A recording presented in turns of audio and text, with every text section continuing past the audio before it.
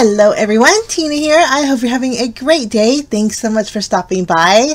Well, I'm super excited. Today I get to share with you a project for Concord and 9th. All month long I've been guest designing every Friday um, for the month of October and we're celebrating the brand new release over at the Concord 9th shop. Um, this is part of the new release and I'm super excited because it's a turnabout stamp and it's called Coffee Blend Turnabout Stamp Set. Um, it's a bundle, um, but they are sold individually but it's coffee themed and I've never ever tried a turnabout stamp set before. So this is going to be super excited. On the reverse side it shows you um, stamping once, twice, three times, and then four times to get that full background in a variety of colors. And so I'm excited I get to share it with you. If you've never tried a turnabout stamp set, I hope you like this tutorial too. But it does have a coordinating die set cuts out that cute little coffee mug, the word enjoy, the two smaller coffee cups that are in the stamp set. The stamp set's just not a turnabout stamp set. It has a large coffee mug and a lot of sentiments, coffee beans, and extra coffee cups. Now this is the turnabout jig. I will be using this today to aid me in my turnabouting. this is a heavy duty um, kind of panel where you're going to turn it. It's labeled on all the corners, one through four. And then there's guides on there um, how to position your paper, um, landscape or portrait style, style and, um, for an A2 size card base or panel. So we're going to dive in. Let's open up the package here. Super excited.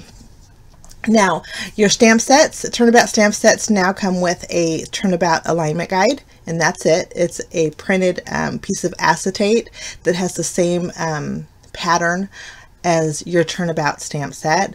So um, there is a little part on the very top that said this side up. You want to make sure that that is up when you align your stamp set directly over the top.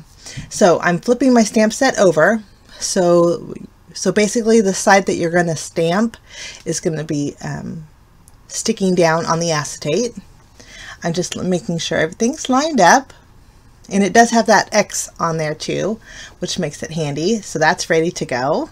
Now I'm going to bring in my MISTI. Um, with Turnabout Stamps, you do need a stamp positioner. Um, and it just makes it way, way easier. but you can see the little notches for a portrait style and then there's notches for here a landscape style card you just want to line those up and to do that I'm just going to add a little bit of tape adhesive to that um, turnabout jig. I'm going to actually line up my stamp first. There's um, a dotted line that's xed out on the turnabout jig. And I'm lining my X on the turnabout jig with my X on my alignment guide.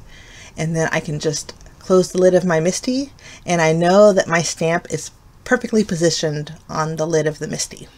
So easy peasy, my goodness. Um, I'm not using a panel. I'm actually going to use my card front for today's card. So I'm using the alignment guide, um, guides that are on my turnabout jig and tacking down my card base. I'm going to actually add a little bit of glue on the inside so it'll stay closed. But there's a one at the very top two, three, and then four. Those are helpful when you um, need to turn. So we're going to stamp our first color. I'm using a very pale taupe ink. It's pretty pale, so I'm going to stamp it a few times. I kind of wanted coffee colors, but I wanted to throw in a brighter color too. But this is a real pretty taupe. I'm going to stamp it a few times. And I think it looks great. Okay, next that one coffee cup didn't get all the way. There we go. I'm going to turn it to the number two. There's, they're labeled, so you want to make sure your number two is um, um, vertical there. And then I'm going to go in with my next color ink. The next color ink, I brought in some blue, kind of break up the browns. Um, it's like a smoky blue color. I'll just ink that up, press really good. And then I'm going to clean off my stamp. I'm going to use my stamp chamois and then I'm going to go over it with a towel just to make sure it's dry. And then I'll rotate my stamp or uh, um, my turnabout jig. And then we'll ink up our next color. Next color is like a warm brown coffee with creamer in it. I'm going to stamp that and then um, just adding a little extra on that one coffee cup. And then I'll turn it to number three Actually, that was number three. We're on number four now. Four now is my fourth color. it's easy to lose track. Good thing there's numbers on there. But I'm going to use my darkest, um, my rich dark brown here and ink that up and stamp that the fourth time. And all the areas are filled in and there's no open areas. It's super neat. And I just love that. Love the colors in there too. So um, the nice thing about the turnabout jig is um, it's uh, the price point's great too. It's um, affordable and um, your ink wipes off easily. And then to remove my my tape, I just use my um, my sponge eraser. Okay, uh, now we're going to do some more stamping. I'm going to stamp the coffee mug with the dark brown ink that we use for our background. And then I'll bring in the warm brown ink and stamp that a second time as well. We're going to make two little to-go coffee cups. Now I wanted those two same colors, but I wanted to create strips with it. Um, so I'm just using that ink pad and doing a little bit of shading on one end of this piece of cardstock. And then I'm going to do the same thing on the reverse side. This way I can take my paper trimmer and trim down um, two thin strips. One of them is about a little less than half of an inch and then the other one will be a quarter inch. And I'll just use my paper trimmer to trim those. So I have um, some coordinating homemade colored cardstock.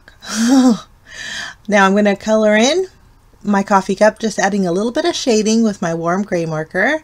And then I am going to color in the little heart with, um, I thought the blues kind of coordinated with my ink pad, but it was, the, they were a little bit more on the teal side than the, the smoky blue that I had used. But um, I'll color those in just a little bit, but I am going to shade my background in and some certain areas with my warm, my lightest warm gray marker, um, just to add a little extra depth to my background, just do a little bit of something else. Okay, here's where I'm going to go in with those blues. And um, in real life, it, it it's not that big of a difference, but I'm noticing that on the camera, you could really see the green in the coffee cups versus the, the, the gray in the pattern paper. But no worries, it all worked out in the end. Now, there's the word enjoy in the die set, and I wanted to create a gradient with those same inks, so I'm just doing a little bit of smushing with the ink pads on some leftover cardstock, and then using my nippers, I'm going to cut away the to-go coffee cup, and then also the word enjoy.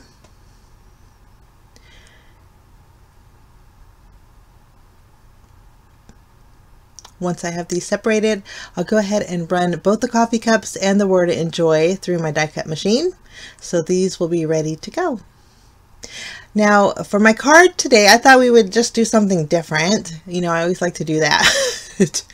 but I'm taking the darkest strip and I'm adding it to a piece of acetate. If the glue kind of oozes out, I just used my stamp chamois to wipe it down.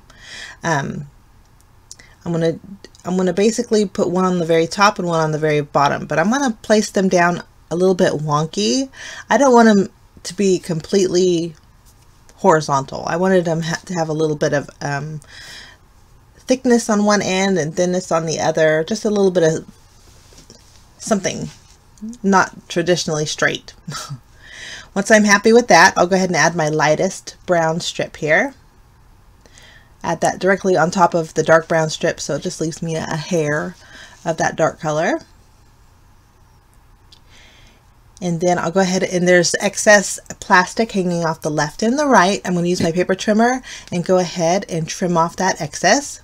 I'm not worried about the left or the right of this just yet um, because once I adhere it to my card base, I can just trim it off. Okay, now I'm going to line my plastic piece right over the front of my card, kind of positioning it where I want it. And then I'm going to use a pencil and mark the very top. And then I'm also going to mark the very bottom where that lighter brown ink is.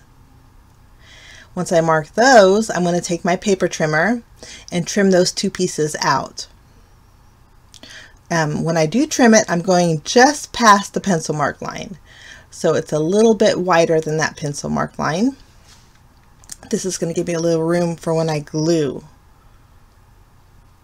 And then that middle piece we're not going to use, but I did use it for another card. If you want to check out the Concord 9th blog, you'll see um, two extra projects that I made using this stamp set um, and a lot of other um, inspiration that's fantastic over there too. So I encourage you guys to go over there and check it out. I'll uh, list the blog down below. Now I added that top plastic piece and then I'm just adding the bottom and I trimmed off the left and the right once I had it adhered. And so I have my, my full card front back again. but I have a window on it. I just like doing st stuff different like that. I'm going to go ahead and add my glue to the word enjoy and place that on the acetate. And the enjoy does have the little dot, but it's stuck in my die. So just using my craft pick, I'll punch that out and glue the dot to my eye. And then I'm going to add some foam adhesive behind both my coffee cups kind of place them wonky on the wider area of the acetate. And I think that looks so fun. I'm going to sparkle up the word enjoy with my Nuvo Aqua Shimmer pen along with my cup. And then I'm going to add some Nuvo Morning Dew Drops. These are like glossy accents. I'm going to place a little bit of shininess on the hearts of my coffee mugs. And then that completes my project for today, guys something a little different with that window in the front, but I love the turnabout. It's so fun. My goodness, I had a blast. I want to thank you so much for joining me. I wish you a lovely day, and we will see you again soon. Bye-bye.